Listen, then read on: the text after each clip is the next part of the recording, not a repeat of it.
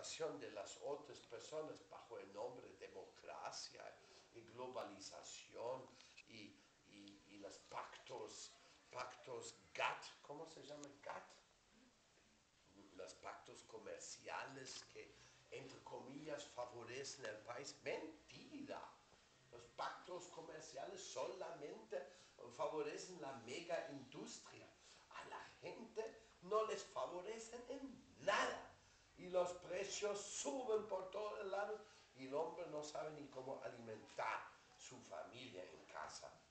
El hombre que no tiene trabajo bueno en una mina, el que trabaja en la mega industria, él va a ser la nueva oligarquía. Él le va a pasar, oh, está todo bien, yo estoy bien, todo bien, pero no está bien, el sistema no está bien. Eso en Chile, por ejemplo, ni tenemos problema.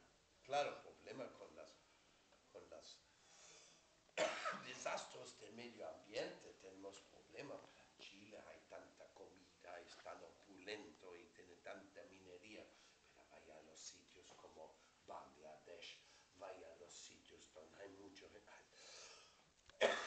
donde manda la misma pandilla internacional, las mismas Solima que están allá, los mismas desastres, explotaciones están allá.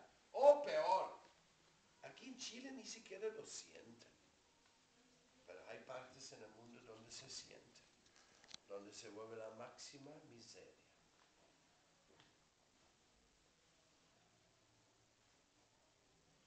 Y lo que estamos diciendo es un anuncio en todas las supone que todo lo que yo he dicho del mundo y de la política será mentira.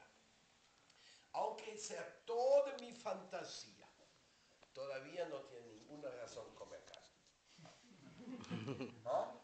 Olvídese la política si a usted no le gusta o no le interesa, pero el papel de compasión con los animales debe estar en primer lugar. Porque mientras que nosotros, ¿saben sabe cómo ganan ellos sus pieles?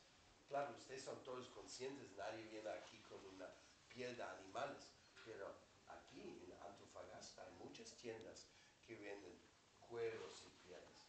¿Y saben cómo ganan esto? Ellos quiten las pieles a los chiquitos animales, a los narzos y a los diferentes, ¿cómo se llaman? Mink, mink y todo eso, vivos. Le sacan la piel y botan el animal ahí. ¿Ah? Ese cómo ganan eso. Es una cosa, lo que hace el hombre para ganar dinero con la miseria del otro. No tiene descripción.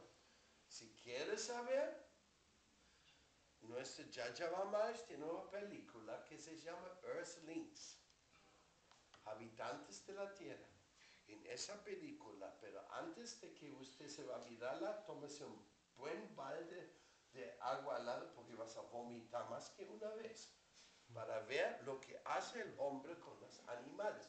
Si quieres saber la verdad, mira la película, es puro documental.